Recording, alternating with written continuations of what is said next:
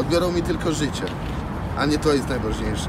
Cieszę się, że będę zamordowany jako katolik za, za wiarę świętą, jako Polak za Polskę niepodległą i szczęśliwą, jako człowiek za prawdę i sprawiedliwość.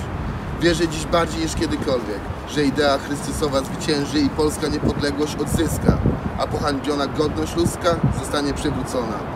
To moja wiara i moje wielkie szczęście. Gdybyś odnalazł moją mogiłę, to na nim możesz te słowa napisać. Żegnaj mój ukochany. Całuję i do serca tulę.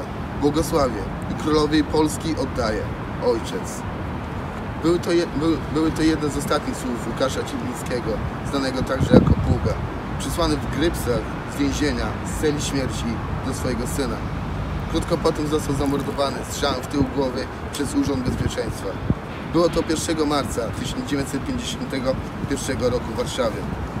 Tak jak większość żołnierzy wyklętych, Łukasz Ciepliński został zamordowany jako zdrajca, jako bandyta. A jedyną jego zbrodnią była miłość do ojczyzny i walka dla ojczyzny.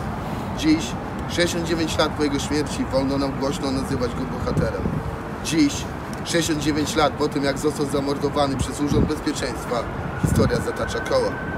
Cnota i wartości budzą śmieszność i obrazę, zaś chamstwo i tani populizm są nagradzane pochwałami. Dziś, tak jak wtedy, dobrych ludzi, dziś, tak jak wtedy, dobrych ludzi oczernia się i rzuca się w nich płotem. Jednak my wierzymy i walczymy o to, by pamięć z nami pozostała.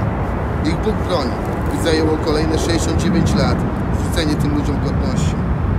To, co szlachetne i wielkie przyjmuj, co płytkie i nikczemne odrzucaj.